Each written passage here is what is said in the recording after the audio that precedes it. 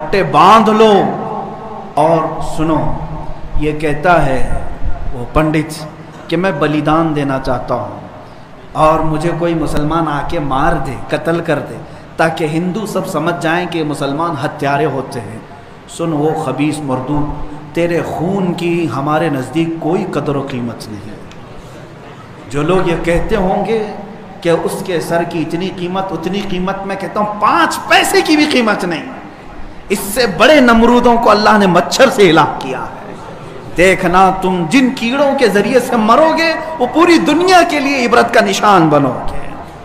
मैं यहाँ पर अपने नौजवानों से नहीं कह रहा हूँ, उस गलीज खून को अल्लाह ही काफ़ी है।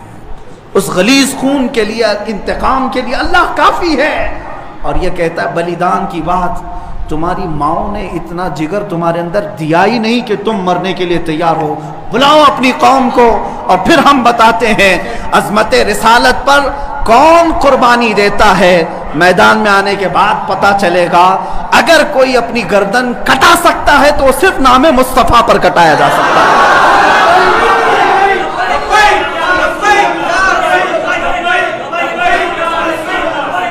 हुस्न यूसुफ पे कटी, मिस्र में अंगुश्ते जना सर कटाते हैं तेरे नाम पे मर्दान अरब वो सहाबा कटाते थे और बताते थे, आज अगर वो पंडित वहाँ बैठ करके कहता है कि मैं बलिदान देना चाहता हूँ, तू अपनी कोठे में बैठकर बलिदान दे ले, तेरे अपने घर में।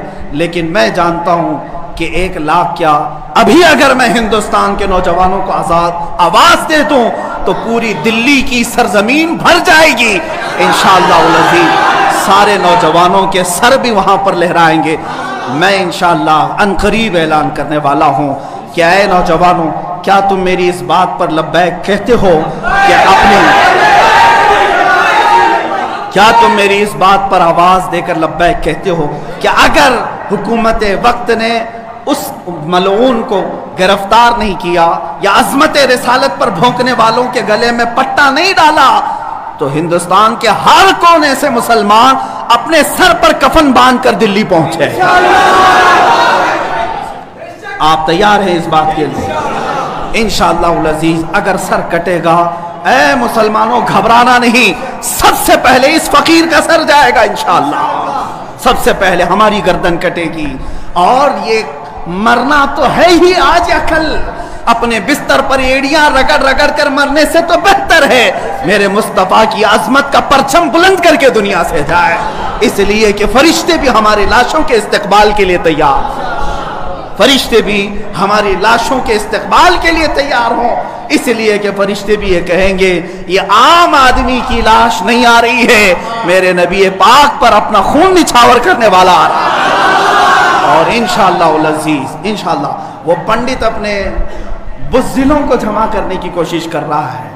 और अभी मैंने देखा, एक वीडियो नशर करके वो कहता है, हिंदू भाइयों से मैं कहता हूँ कि तुम अपनी कुर्बानी के लिए तैयार हो जाओ। क्यों जहर फैला रहे हो? क्यों जहर फैला रहे हो हिंदुस्तान में? हमने कभी लड़ने का या जिहाद का ऐलान नहीं किया। अब तक हमारे किसी आलिम ने ऐलान नहीं किया। अमन के साथ रहने की तलकीन इस्लाम ने भी दी है। हुजूर ने खुद फरमाया है, जंग की तमन्ना मत करो। जंग की ला तमन्ना लिखा मेरे आका फरमाते हैं, दुश्मनों से मुठभीड़ करने का, जंग करने का इरादा मत करना, तमन्ना मत करना। हाँ अगर उनकी तरफ़ से आ जाए तो फिर कदम भी पीछे मत लेना। फिर कदम पीछे नहीं लेना। उस वक्त फिर तुम समझ लेना, तुम्हारे साथ कौन होगा? प्राइम मिनिस्टर आएगा होम मिनिस्टर आएगा सीएम आएगा, ये सब उसी कोठे के लोग हैं। ऐ मुसलमानों, फख्र के साथ आना। तुम्हारे साथ कोई अहले सियासत नहीं आएगा। तुम्हारे पीठ पीछे रसूलुल्लाह की जात होगी और तुम्हारे सर पर अल्लाह रब्बुल इज़्ज़त की इनायत होगी। अल्लाह और उसके रसूल के भरोसे पर हम जाएँगे इन और याद रखना, ये सिर्फ़ जज्बात की बातें नहीं, जोश की बातें नहीं। मैं अपना एक पैगाम रिकॉर्ड करना चाहता हूँ। अगर उस मलून और उस खबीस नमरूद की औलाद तक मेरी ये बात पहुँच सकती है तो पहुँचा दी जाए। तुमने बहुत भोंक लिया अपने मंदिर में बैठ करके। तुम प्रेस क्लब ऑफ़ इंडिया में बैठ करके बहुत भोंक लिए। कुत्ते आपस में अपनी गली में बहुत भोंकते हैं। मेरे इस मैसेज को उस मलून तक पहुँचा दें। अगर जरा बराबर भी दम खम है तुम्हारे अंदर, तुम्हारी माँ ने अगर दूध पिलाया है तुमको तो अब मैं मुनाजरे का चैलेंज नहीं दे रहा हूँ। डिबेट भी नहीं करूँगा, बातचीत भी नहीं करूँगा। आओ मैं ऐलान करता हूँ, आठ दिन के अंदर तुम दिल्ली पहुंचो, किसी मैदान में पहुंचो, अपनी सारी मुकद्दस किताबें लेकर के आओ। इंशाला लजीज ये फकीर कुरान पाक लेकर हाजिर होगा। हम आएँगे। तुम अपने सारे गुरु घंटालों को लेकर जमा हो जाओ। मैं मुनाजरे का चैलेंज नहीं दे रहा हूँ। तवज्जो चाहता हूँ। मैं डिबेट करने की बात ही नहीं कर रहा हूँ। ये न्यूज़ एंकर जितने दज्जाली मीडिया वो भी सुन लें। अपने डेस्क पर बैठ करके टट्टू लोगों को लड़ाते रहते हैं, वो भी सुन लें। कुरान, इस्लाम, रसूल की जात पर हमले कराने के लिए जरखरीद लोगों को बिठाते वो भी सारे न्यूज़ एंकर ये पंडित सब जमा हो जाए मैदान में। ये फकीर कादरी हाजिर होगा। एक बड़ी आग जलाई जाए। आग लगाई जाए। मैं उससे कहता हूँ, मैं भी आग में दाखिल होऊँगा। तू भी आग में दाखिल हो जा। जो सलामत रहेगा, उसका दीन हाथ पे जाना जाएगा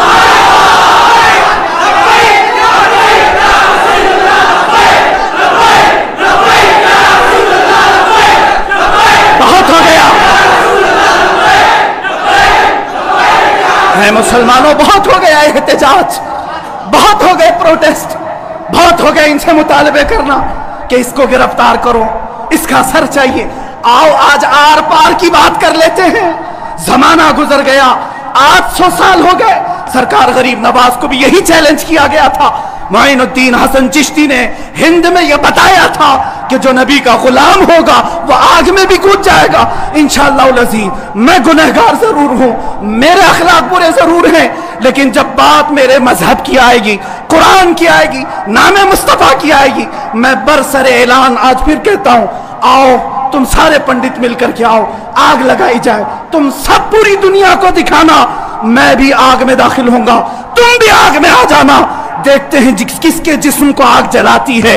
अगर मैं सलामत रहा तो मेरे दीन की बात होगी। और इंशाल्लाह मुझे यकीन कामिल है कि अगर आग पर भी किसी का हुक्म होता है तो सिर्फ़ मेरे रब्बे जलाल का है।